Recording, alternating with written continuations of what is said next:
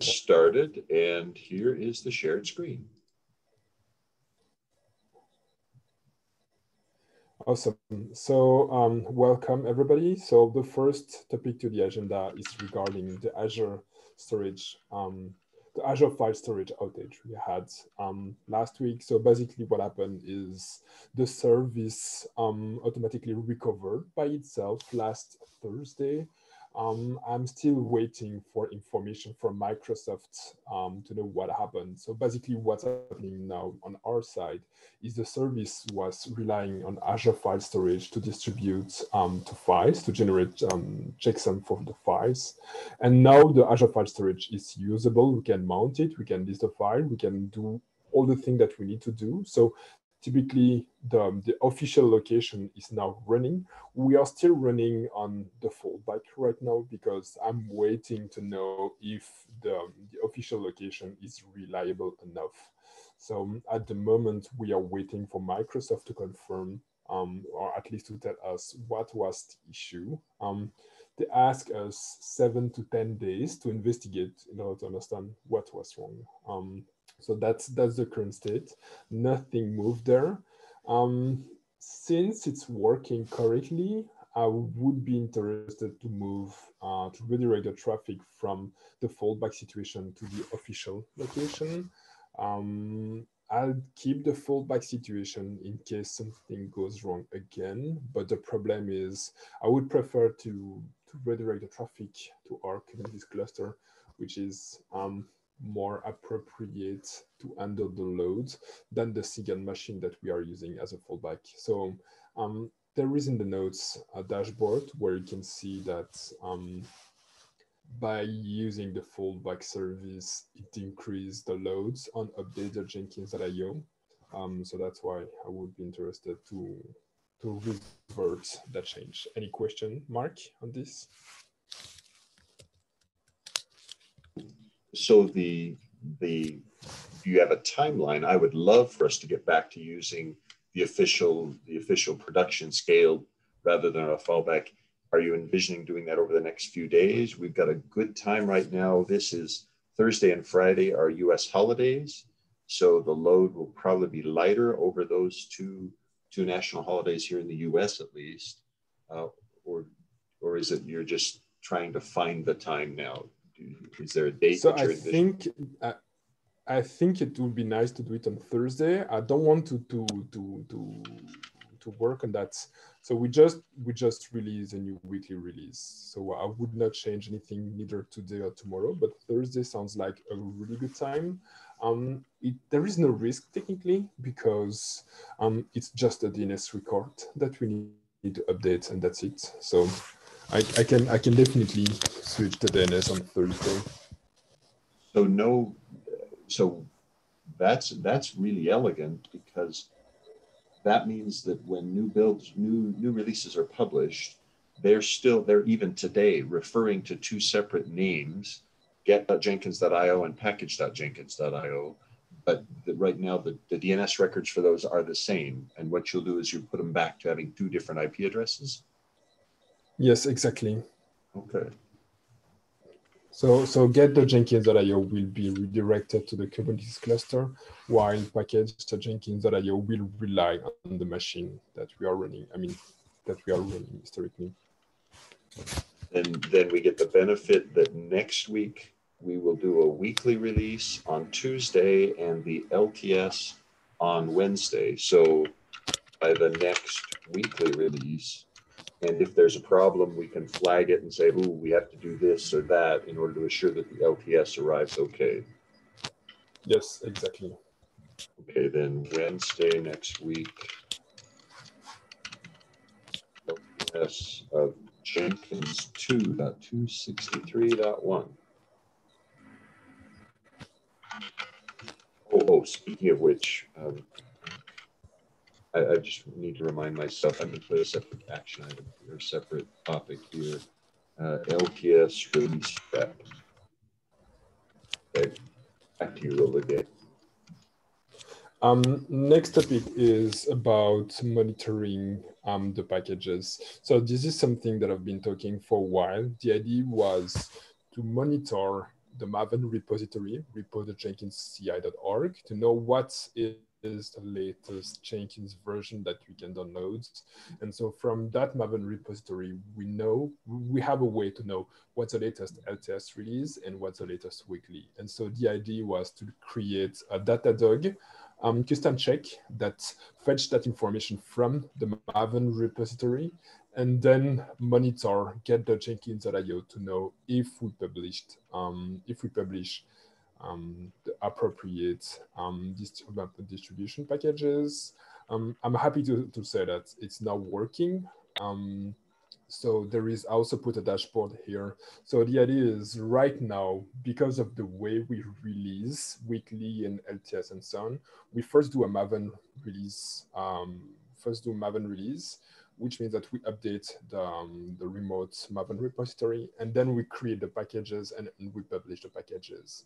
The idea is now that we know that there is a gap of around 20 minutes between the moment we publish the release and the moment we create the packages, um, the idea would be, would be to, to reduce that gap to be sure that when we release, everything is ready.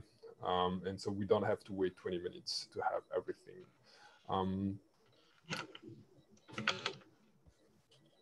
so, so, so your checks will not be harmed by the acceleration that you'll do of bringing those things closer together. They'll they'll still be okay. What do you mean by my check will not be? Well, so so today, latest package available here shows war, for instance. So when war package, and I think there's a way I can change the this view, isn't there? Because we uh, we should we can actually see this thing in its time scale. How do I? Well, oh, here we go. Change this. If I adjust this instead of oh no, it's not adjustable. No, so so this is the public URL, so you cannot ah. adjust this.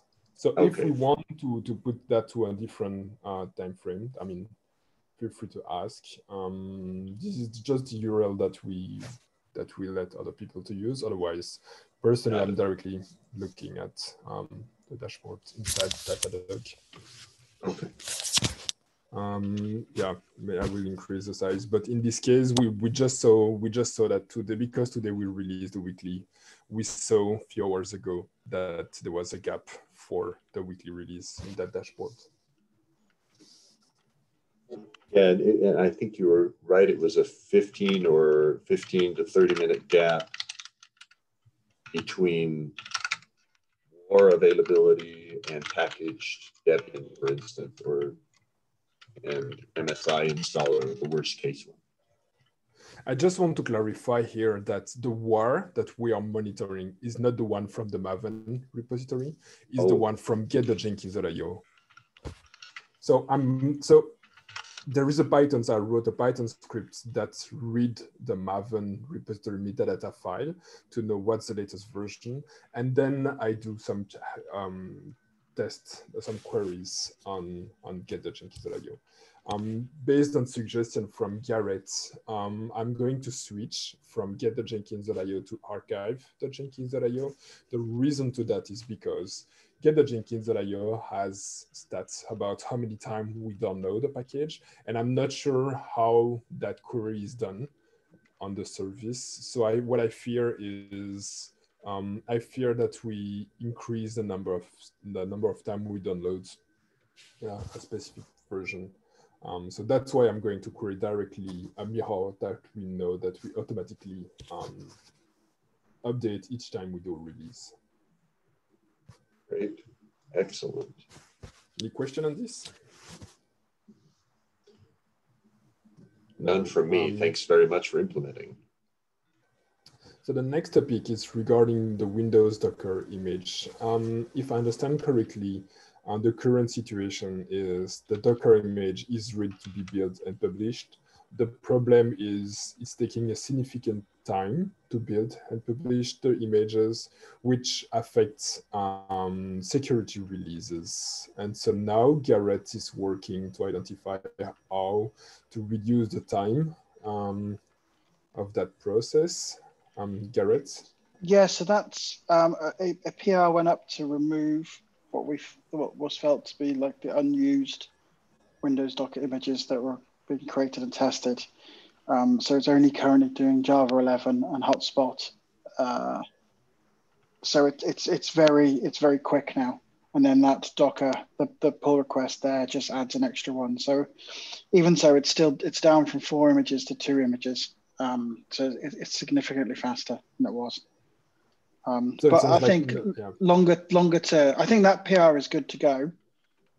Um, longer term, I think we want to we, we want to work out how to better parallelize um, those Windows builds. We can we can improve those definitely.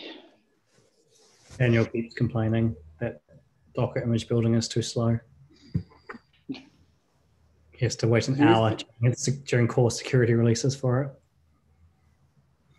Right.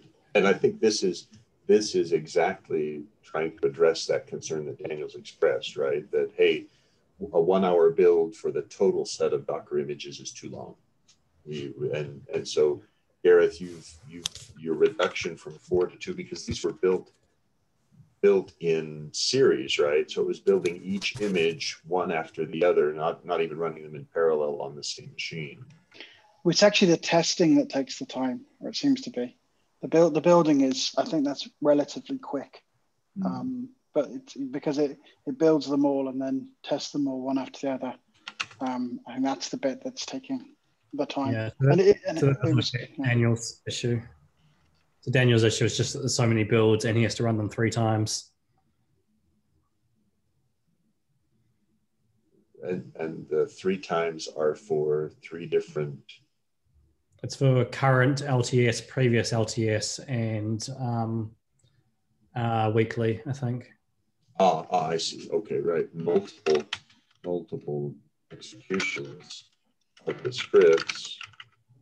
Sure, weekly and LTS even if he doesn't do LTS minus one, that already doubles it just weekly in LTS.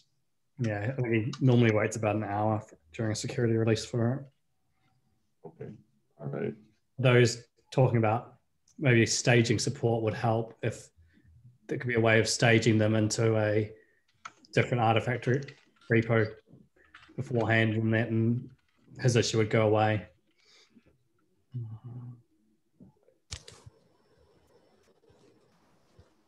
Could we, I mean, to that question, that's a really good one. And I'm not sure.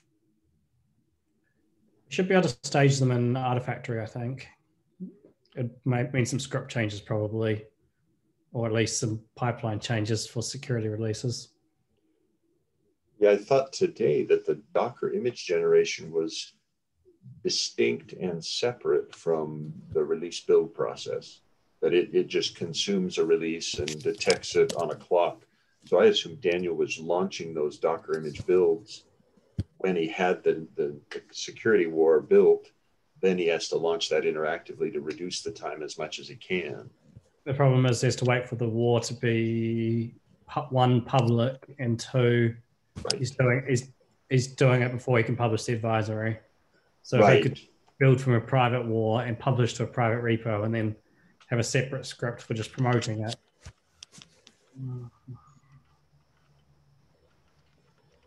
Yeah, I think I see what you're saying. Registry and publish. Now, Olivier, I'm assuming that your your concepts around um, around staging haven't touched this yet. It was mostly about staging the war, the Debian file, the RPM, the MSI. Did I understand correctly, or did you also consider how to stage Docker images? So I, I, never work on, on the Docker image staging environment. Um, so we already published a private war file. So the private war is already available. Um, the thing is right now we have different Maven repositories for each uh, security releases. Um, but the, I mean, what we would have to do here, we would have to create private Docker, uh, Docker repository. Yeah. And probably we would have to work on the script for doing that as well. So yeah, I think we are quite far from staging um, Docker images. Yeah.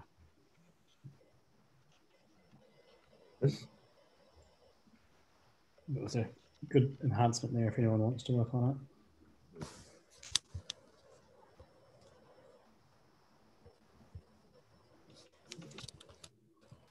Gareth, anything else on the Windows Docker image? So we've got a pull request ready. It needs needs review by by people who are expert in It that. sounds, it sounds like it's it sounds like it's ready. The question that I have is should we merge this PR before next week weekly and um, stable release? Or do we wait after those two releases? Good question.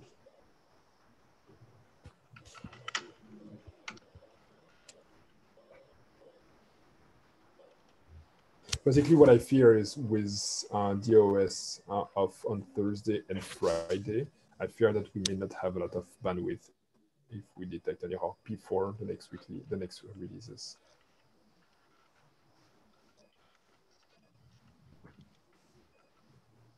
Yeah. Gareth, your your your your opinion? Would you be okay if this if we delayed until let's say next Thursday, so a week from a week from nine days from now before this was merged? Yeah, sure. Yeah, there's there's no problem start with that.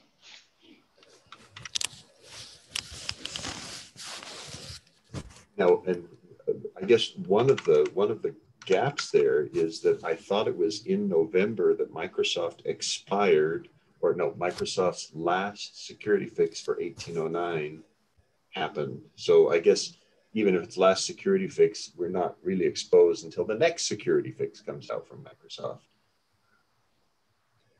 Okay, Sure, I can wait a week. great. But Okay. worst case, but worst case scenario, we can we can rebuild the Docker image if we have to. Right. Okay, great. Thank you.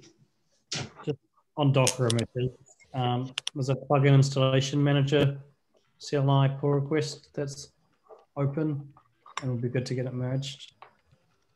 Oh, so this is for 2.1.2? Or is it even newer? Uh, at least that, yeah, I think, I think it's that one. Great. Uh, so there was, uh, we had a conversation yesterday uh, in the Docs SIG, uh, Tim. There was some some issue or concern raised by Vlad Silverman asking if it's okay that we're using Plugin Installation Manager CLI everywhere in the documentation and continuing to use it even more. I'm assuming it is okay and that that's our strong preference. Does that make sense to you, or are there places where we should not use it? I definitely use it. Um, the the install plugin script has been deprecated. Okay, Um. I'm, I'm using it. I'm using it constantly for reproducing all of the tables to divs issues. Okay, excellent. Thank you. That's good. That was that was my answer in the Docs SIG yesterday. You've confirmed it. Thanks very much. Yeah, I think we need to review the documentation and possibly clean up the install plugins um, stuff soon. Um, Yeah, I think I, I think that plugin installation manager one went in. uh, Oh, good. Let me check.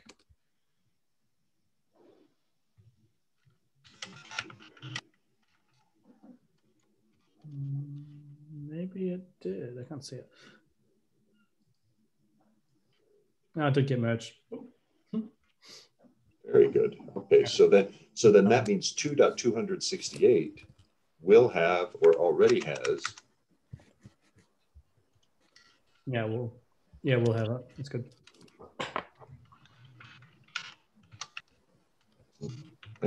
Okay.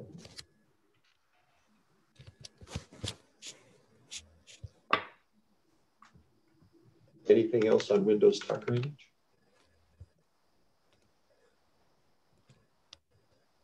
Sounds like we can move on. And so this one was a topic for me, just to remind me, Olivier, I believe what I need to do is create a create a profile for stable dash two dot two sixty three. So, the, so we have there are there, do you do you hear me correctly? I we do, yes. You're very audible. Okay, perfect, thanks. Um, everything is explained in the Jenkins Infra slash release Git repository. So there is a bunch of instruction um, with a list of things that need to be done. So I think we have to create a branch on the Jenkins Infra slash release. Um, inside that specific branch, we have to create, um, we have to update uh, a bunch of environment variables. And um, then we are ready to to trigger the stable release. Um, but it's better to double check with the README. Great. And I let me take that action. I was the one who missed doing that for 2.249.1. I would love to be able to cement that mentally by doing it. Is that okay with you if I do it? Yes. That's all that I had. It's coming. Oh, and uh, change log and upgrade guide. Upgrade guide drafts coming very soon. Sorry that I'm late. The candidate is available. Ready for test.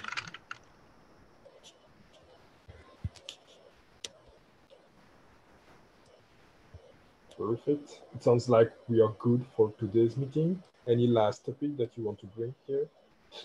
I was just going to ask one. Okay. We've thought about. Sounds, yeah, sorry. Um, um, Jira and OpenID Connect now that it's been moved over and using Keycloak more widely. Or so what's the so what's the plan? Currently, we're still in the same situation where we're reliant on LDAP. Um, like and we lost we lost so i had a look. Yeah continue. Sorry. I was just going to say we lost that data back in february. Okay so basically what now that jira is um, on running on the linux foundation we have to to change the um, the user directory. So right now we are doing the generic uh, user directory and we have to configure the OpenLDAP one. So we could, I mean, in that case, we would still be using OpenLDAP, but we could directly use Keycloak as well. We just have to, to configure Jira. Um, yeah, this is something that we should do in the coming weeks. I was I was planning with that yesterday, and um, this is something that we should plan to do. Cool. It'd be nice to use Keycloak because then we can turn on things like GitHub and Twitter and whatnot, so people don't have to sign up for accounts. Yeah, I totally, I, I, totally agree with you. Um, I totally agree with you. And we just have to add one new. Um, yeah, I. I agree. Basically, um, yeah, I was playing with that yesterday. And now, and is that is that something that we can change, or do we need to invoke the Linux Foundation people to make that level of change to Jira? So this is something that we can change. So we just we still have access to the Jira administration um, to the admin accounts, and so we just have to add one additional configuration. So the first the first iteration we will be we will have two uh, connectors, one using the correct the current one that we have at the moment, and the second one that would be using the OAuth um, OAuth token. So we would um, in the backend it would be exactly the same user because in both cases uh, user are coming from the same LDAP. But the thing is, once we once we are able to connect uh, using Keycloak, we can remove the old um, the old connector.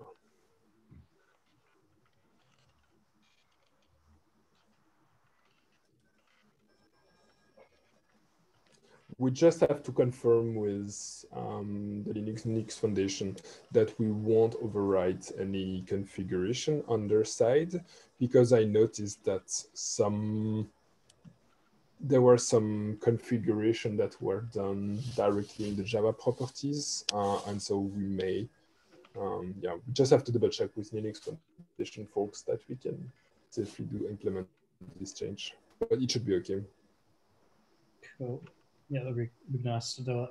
And it's um, I don't I don't know I don't know if you already did the the experiment, uh, Tim. with configuring Jira and uh, uh, an OAuth token? I think I managed to get it working, but it was a bit difficult because I was running it in Docker, um, and just getting the redirect URLs okay. mapping properly was a bit, bit of a pain. Um, I, th- I, think I managed to get it working. It was just yeah, it was just a bit of a, yeah. That, I don't think I got all the networking. Yeah, I should. I mean, I I, I, I don't expect I don't expect and I don't expect that to be a lot of work. Um, yeah, it was just the logging was quite bad. I think from what I remember, I think I got in and found that it was talking to localhost when it should have been talking to host.docker.internal and was that sort of issue. It was sort of the container localhost rather than. Um, it was it was all because I was running running Docker.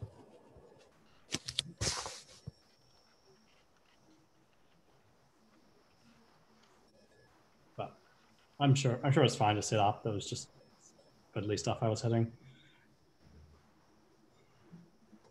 Yeah, I, I didn't want to spend too much time on it um, before we migrate the instance to the Linux Foundation. Um, but I had a look yesterday because I was investigating some um, user issues, um, people who had issues to connect. By the way, while we are talking about Jira, um, did you figure out the email email issues? No. No, not, not yet. Uh, okay.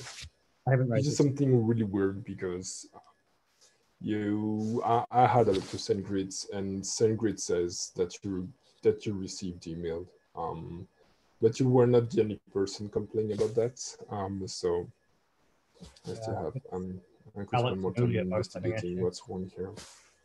Weird I get some emails. I get but at I least get, in my case I'm receiving yeah do you get okay. notifications in the Jenkins project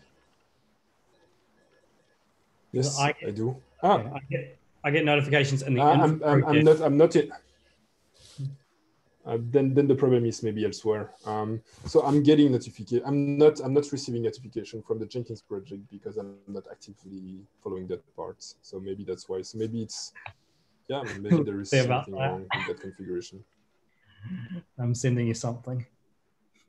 So, so Tim, did I get that correct? You get notification for infra tickets, but not for Jenkins tickets?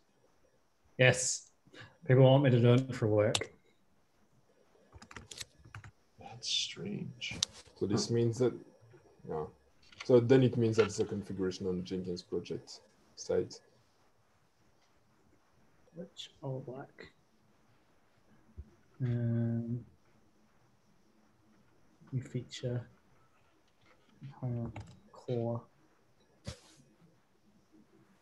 All right. So we are running out of time. Uh, so I propose to continue the discussion on IRC.